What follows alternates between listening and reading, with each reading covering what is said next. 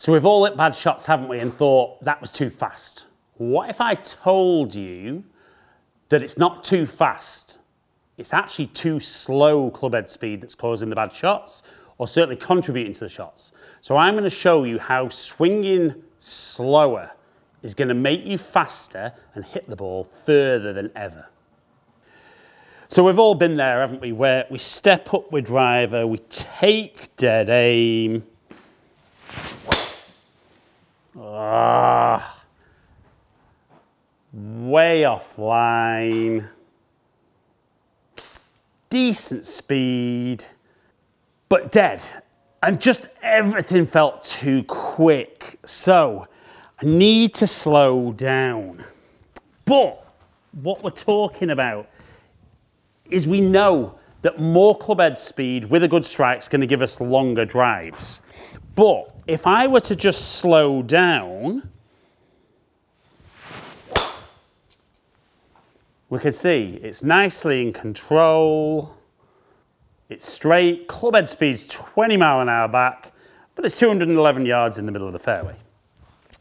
Now, what if I told you though that you could be slower to build club head speed and hit the ball further than ever.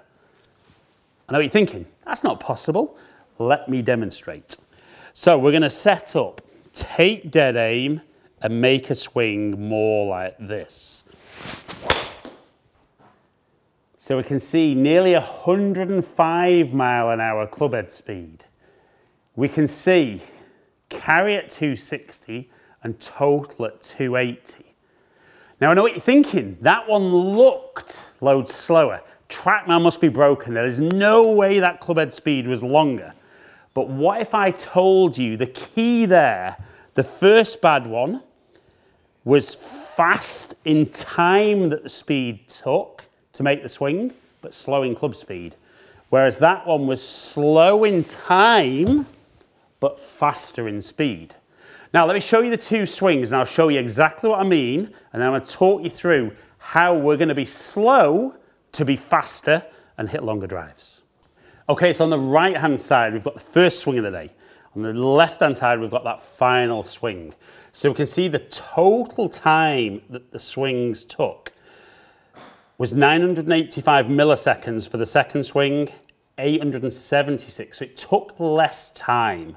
But if we look at it, as we move back, we can see on the right hand side, I've been shorter on the backswing, so I'm rushing down to the ball. The one on the left hand side is a bigger turn. Clubhead speed, clubhead's now got further to travel on the way down. And we can see by the time I'm back to impact on the right hand side, I'm only halfway down. The clubhead's accelerating, and we saw nearly four mile an hour more club head speed. So I think when most golfers make their practice swing, even with driver, it's kind of a big swing and it's very free flowing, free wheeling, and that club head speed's moving nice and quickly.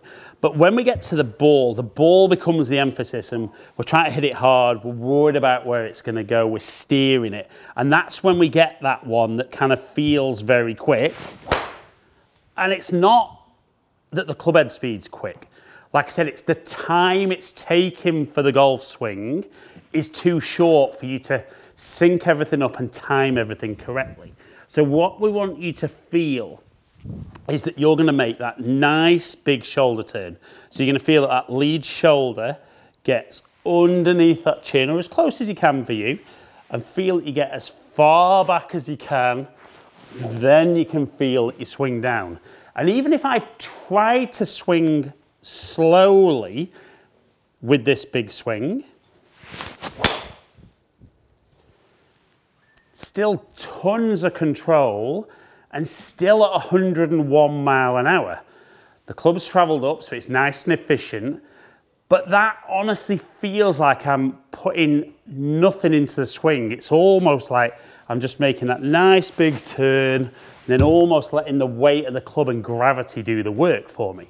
Now, don't get me wrong, that tee shot at 274, dead in play, don't do that every time. So maybe I need to do a little bit of that. But again, give yourself the time to make the swing and then you can swing through. So we're going to set up there, give yourself lots and lots of time and try and generate some speed. Okay, so a little bit of a push, but we can see no effort. 106 mile an hour club speed, 270 carry, and 286 total. And it's probably the biggest misconception I see with most golfers that when they hit bad shots, their first bit of feedback is, I was too quick. And I know they mean they think they're too fast with the club and what they're trying to hit the ball too hard, but it's not. There's not enough time that the club's traveling around the body to get the body in the right place, get the hands back, square that club face up, get a good strike, and actually have the club moving at any kind of speed. So like I said, even if for now you have to feel your backswing is a little slower than normal, because there is lots of scientific evidence that if the backswing is a bit faster, but full turn, that we're going to generate even more speed. But if I to start with just go slow on the way back, but a nice big turn and give myself lots of time, even the one that's a little bit out the toe, 105 mile an hour club head speed, club traveling up 3.4 degrees, and I would absolutely take a miss hit being 264 carry and 287 total. Now, I'm sure you're like me. If you stand up there and you do a few of those, you kind of look at nice and accurate, some nice speed, but because my time is slow to help me to build speed, I'm then thinking, what can I generate speed-wise? So this is where I'm still going to give myself more time than before, but I'm actually going to try and be just a little faster on the way back, but still make that full turn if I need to. Let that lead heel come off the floor to let the hips turn even more, and then see what I can generate.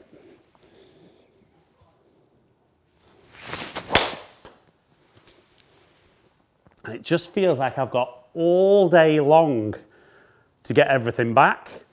Clubs travelled up four degrees, 107.5 club head speed, carry at 273, and total at 294. Now, comment below. I've got one last drive in me. Have I got 300 yards total? I'm going to need just a smidge more club head speed and to get that out of the middle of the club face, but we're going to make that big turn. So I've got as much time as possible. I'm going to be a little quicker on the backswing, which I have done a video on this in the past. I'll put that up in the corner for you. But we're going to make a big turn, lots of time, and let's see if we can get 300 yards. Not with that strike, very, very toey. So speed was down, strike was poor, but it's still not end of the world. Right, you know what it's like, can't finish on a bad one. Let's go one more, get set, take aim, big turn. That's a much better strike. Club head speed's not quite there, but it's fast. It's nice and accurate. It's 286. So I've failed in trying to get it 300 yards, but hopefully what I've shown you there is that when you hit that bad one and you feel you're too fast, it's not that the club head speed's too fast. If anything, your club head speed is slower. It's that the time it's taken to make the swing has been too fast. So give yourself more time, get the club accelerating for longer and start hitting the ball longer by giving yourself more time to swing faster.